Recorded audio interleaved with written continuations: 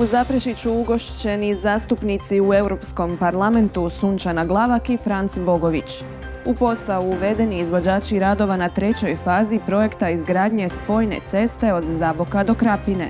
Upravljanje gradskim grobljem Zaprešić značajna djelatnost komunalnog poduzeća Zaprešić DOO. Poštovani gledatelji, dobar vam dan. Gledate vijesti televizije Zapad. Predsjednik udruge gradova i gradonačelnik grada Zaprešića Željko Turk te direktor poduzeća za komunalnu djelatnost Zaprešić DOO Domagoj Mikuš bili su domaćini zastupnicima u Europskom parlamentu. Ugostili su naime Sunčanu Glavak i Franca Bogovića.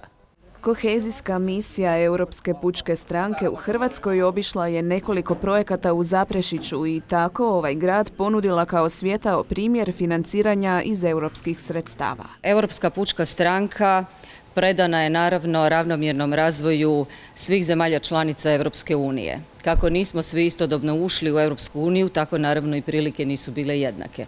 Kohezijska sredstva su nešto što zapravo utječe na svakodnevni život građana i zbog toga je IPP odlučio da u sedam zemalja provjeri na koji način se iskorištavaju sredstva, za koje projekte i koliko smo u tome uspješni. Odabrali smo grad Zaprešić, kao jedan od gradova koji je iznimno uspješan u tome. Ovo što smo već danas vidjeli, sutra nastavimo e, u Terme u Limije, onda idemo u Lenart. E, sve kaže na to da smo i Slovenija kao Hrvatska jako dobro iskoristili ovu mogućnost kroz evropske fondove. Zaprešički gradonačelnik otkrio je da je tijekom proteklih nekoliko godina povučeno više od 200 milijuna eura sredstava. Zajedno sa državnom politikom i državnim sredstvima uz rekonstrukciju Zagorske pruge, o velikom kapitalnom objektu izgradnje kanalizacijske mreže, kada govorimo o našoj spremnosti da iskoristimo evropska sredstva za sanaciju od potresa kako komunalne infrastrukture, tako javnih zgrada, a naposlije kada govorimo o novom razvoju i kroz gospodarske zone, kroz razvoj turizma, onda govorimo o onome što je bitno za život svake sredine i svakoga grada. K tome dodamo i aktualne teme vezano uz zeleno, digitalno i tranzicijsko i ono što je vezano uz zelenu energiju, tada smo zapravo sve rekli. Među ostalim je održan obilazak projekata u kompleksu Novih dvora za koje su također povučena europska sredstva. Nakon sastanka je uslijedio panel na temu kohezijskog fonda na kojem su sudjelovali i ministar regionalnog razvoja Šime Erlić te predsjednik skupine Europske pučke stranke za praćenje kohezije Andrej Novakov. Održana je konferencija za medije povodom uvođenja u posao izvođača radova na trećoj fazi projekta izgradnje spojne ceste od Zaboka do Krapine. Tim je povodom Krapinu posjetio potpredsjednik vlade te ministar mora, prometa i infrastrukture Oleg Butković. Ministar mora prometa infrastrukture Oleg Butković sudjelovao je u Krapini na uvođenju posao izvođača radova na trećoj fazi projekta izgradnje spojne ceste Krapina-Zabok. Radi se o izvođenju radova na dionici od Velike Vesi do Krapine u duljini od 2,36 km u vrijednosti nešto više od 7 milijuna eura. Drago mi je da sam danas ovdje u prisustvu župana Kolara i gradonačelnika Krapine gospodina Gregurevića, direktora Hrvatskih cesta na otvorenju radova posljednje dionice ceste, državne ceste Zabok Krapina, čime ćemo zapravo onda u cijelosti nakon svih ovih faza koje su gotove završiti tu cestu. Čestitam Hrvatskim cestama i naravno i županiji i gradu budući da smo svi zajedno u jednoj suradnji i sinergiji pripremili i došli u tu fazu da se ova cesta može završiti. Znamo i sami da smo do danas završili prve dvije faze u duljini od 10,8 km, ukupne vrijednosti negdje oko 23 milijuna eura i danas otvaramo radove na posljednjoj trećoj fazi u duljini od 3,4 km, vrijednosti 6,5 milijuna eura.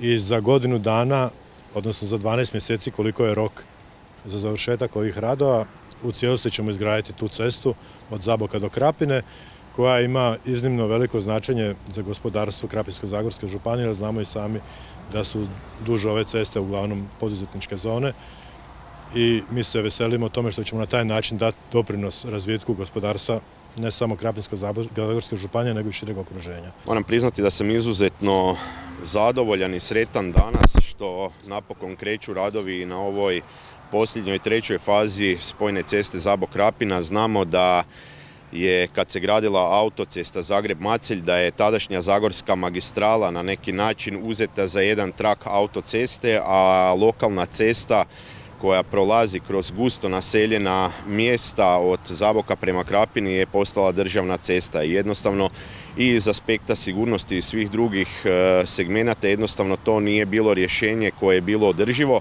tako da je ova spojna cesta bila uistinu nužnost. Važnost navedene prometnice za domicilno stanovništvo kao i za gospodarstvo istaknuli su posebice gradonačelnik Gregurović te župan Kolar. Svaka investicija donosi nešto dobro. Tako i ova nama iz tri aspekta.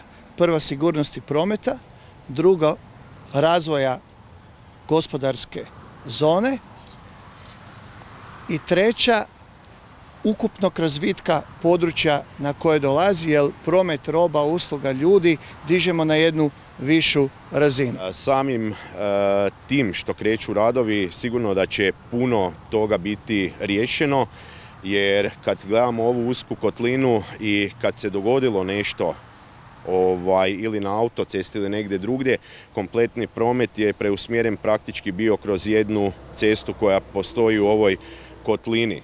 Ministar se osvrnuo na još jedan važan prometni projekt na istoj relaciji, obnovu pruge Krapina-Zabok. Ono što me naravno raduje kao ministra, imali smo jutros konferenciju u Esplanadi, budući da smo digli veliki zajam i dižemo veliki zajam za obnovu željeznice u iznosu od 900 milijuna eura, da će evo sredinom 11. mjeseca, budući da je ugovorena i ta dionica, krenuti obnova pruge Krapina-Zabok, znači u istoj dionici samo govorimo o željeznici, ukupne vrijednosti oko 14 milijuna eura. Ministar Butković istaknuo i kako će se odazvati županov pozivu za dodatni sastanak naredni tjedan kako bi utvrdili potrebe u županiji vezane za prometnu infrastrukturu. Upravljanje gradskim grobljem Zaprešić značajna je djelatnost komunalnog poduzeća Zaprešić DOO. Snimili smo stoga u oči svih svetih emisiju na tu temu, dio koje donosimo u nastavku.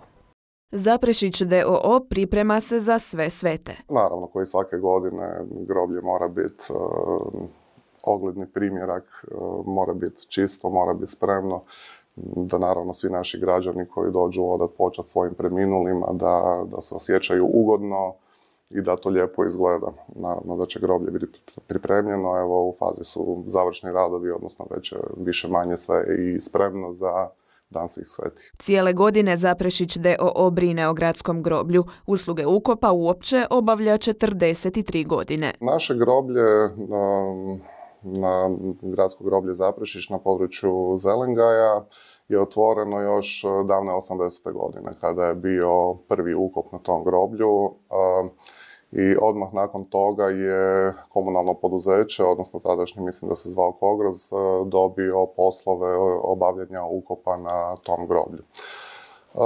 Tada je naravno krenulo i nekako proširenje groblja, izgrađena je mrtvačnica, izgrađena su ovoga ti neki popratni objekti i samim time je krenulo u realizaciju to groblje, odnosno to je bio nekakav početak.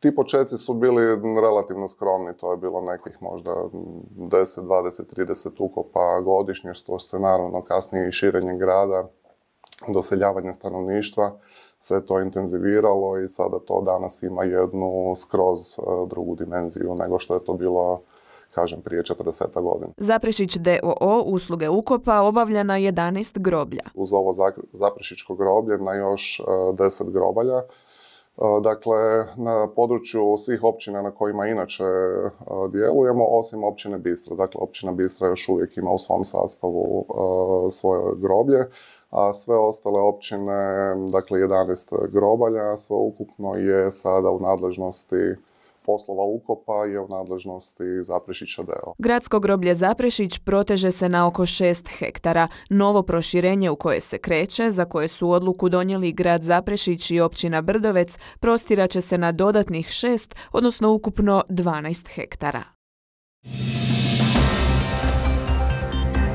U subotu se na području Zagreba, Zagrebačke i Krapinsko-Zagorske županije očekuje poluoblačno vrijeme i ponegdje mjestimične grmljavinske oluje, uz najnižu jutarnju temperaturu od 9 te najvišu dnevnu od 20 Celzijevih stupnjeva. U nedjelju će biti uglavnom oblačno. Najviša jutarnja temperatura kretat će se između 12 i 13, a najviša dnevna dosezati 22 Celzijeva stupnja.